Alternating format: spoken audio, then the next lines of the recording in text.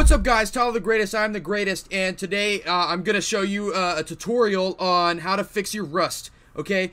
Are you launching Rust and you get this error? Well, ignore everything that the internet tells you and listen to me right now, okay? There's an easy fix I, have tried many things. I tried doing the entire virus scan to make sure all my thing was. Took four freaking hours and ended up not working. And then I did the command prompter thing. It ended up not working. I ended up doing the Steam enter command here thing and it ended up not working. So I tried one last thing, okay? And this is how, this is what I tried and it worked, okay? So you get this error. What you can do is just exit out of that mug. Okay, get out of there. Oh my gosh, OBS is right in front of me, so we're just to get that out of here. Okay, oh, well, the error message isn't popping up, but who cares? It's to say something like um, untrusted file, um, Steam API underscore 64.dll or some crap like that. Well, here's what you got to do. You got to follow that path it tells you to do. And so I've already got it pulled up handy dandy, right? So you go into your program files x86, Steam, Steam apps,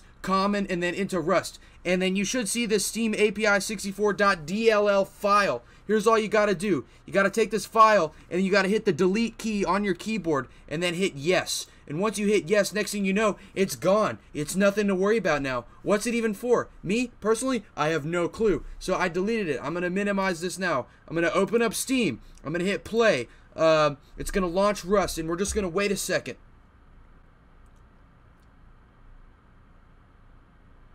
How are y'all doing today? Are y'all good? I'm glad. This is a legit tutorial and it's gonna work. Just watch. As you'll notice, it probably stalls out on 87%. And we're going into Rust here. Look at opening bundles, 75%. It's going to stick on here for a little bit. Then it's going to go do it again. And it's going to preload the bundles. And it's going to bootstrap the systems. And next thing you know, here in a second,